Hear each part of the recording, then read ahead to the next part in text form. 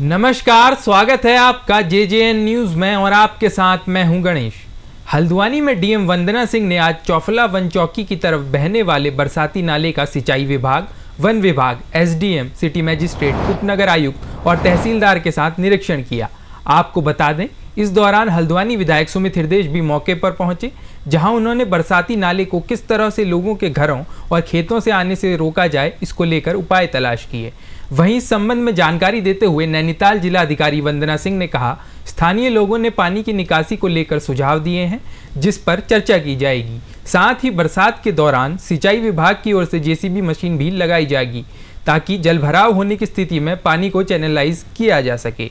विधायक सुमित हृदय ने कहा, नाले को उसको मूल रूप की जगह से चैनलाइज कर दिया जाए और उसको रक्सिया नाले से जोड़ दिया जाए तो यहाँ पर जल भराव की स्थिति काफ़ी हद तक दूर हो जाएगी।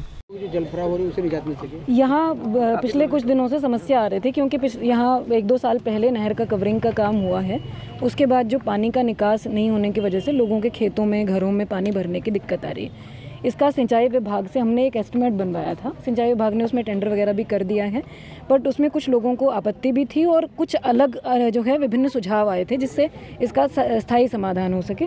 उन्हीं पर हम जनता के सुझाव लेने के लिए आज यहाँ मौके पर आए थे। लोगों ने बहुत अच्छे सोल्यूशंस बताए कैसे इसका प्रैक्टिकल समाधान हो सकता है और यही सहमति बनी है कि जो दो सुझाव हैं मुख्य रूप से, उन्हीं में काम हम लोग दोनों में करें। एक एक समाधान के भरोसे इसमें जो है सोल्यूशन नहीं निकलेगा तो दोनों तरफ़ विभाग काम करेगा। वन विभाग और सिंचाई विभाग इसका संयुक्त सर्वे भी करेंगे।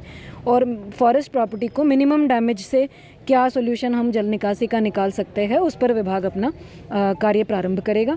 तात्कालिक के लिए यहाँ पर एक जैसे भी हम एक्सट्रीमली हैवी अलर्ट जब भी आता है बरसात का तो यहाँ एक मशीन हमेशा रहेगी ताकि कोई भी समस्या आए तो उसको तात्कालिक निस्तारण किया जा सके। मौसम को लेकर अलर्ट भी है उसको लेकर क्या निर्देश हैं जनता के मौसम के लिए अगले तीन दिन के लिए एक्सट्रीमली हैवी रेनफॉल का अलर्ट हमारे जनपद में प्राप्त हुआ है। सभी विभागीय अधिकारियों की टीमें हर तहसीलों में बनी हुई हैं और पहले से भी विभाग के अधिकारी इस तरह के अलर्ट में उनको एक स्टैंडर्ड निर्देश जारी रहते हैं। वही निर्देश इस बार भी दिए गए हैं।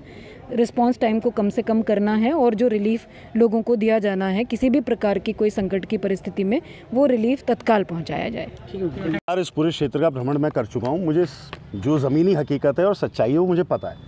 ये जो नाला यहाँ आता है, ये हल्द्वानी विधानसभा से होते हुए कालाडूँगी विधानसभा में इन घरों में सीधे मलबा जा रहा है। इसका जो स्रोत है, वहाँ से 70 मीटर की अगर एक चैनलिंग हो जाएगी और वो रकसिया नाले में डाल दिया जाएगा तो 80 परसेंट यहाँ के जल भराव की स्थिति समाप्त हो जाएगी।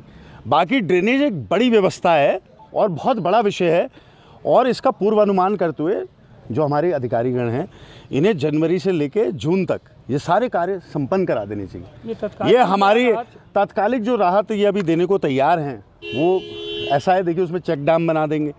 उसमें क्या कहते हैं, पिंजरे लगा देंगे। उसमें पत्थर से चैनलिंग कर देंगे, जेसीबी लगा देंगे। लेकिन स्थायी, उसके लिए मेरी मांग है कि इन सारे नालों में सुरक्षा दीवारें बने और जो ये सड़कें जा रही हैं, इनमें ह्यूम पाइप डले अथवा या फिर ड्रेनेज का सिस्टम बने और इसमें ड्रेन में जाए। क्योंकि देखिए स्लोप से आ रहा है पानी और नेचुरल ग्रेविटी जो पानी की है, वो लेके ही नीचे आएगी और जाएगा ही जाएगा जल भराव होता रहेगा, जब तक स्थायी इसका कोई सोल्यूशन ना हो। ये रिपोर्ट आपके लिए तैयार की थी हमारे संवाददाता दीपक अधिकारी ने। फ़िलहाल के लिए इस खबर में इतना ही। बाकी की तमाम खबरों के लिए आप देखते रहिए जे जे एन न्यूज़। धन्यवाद।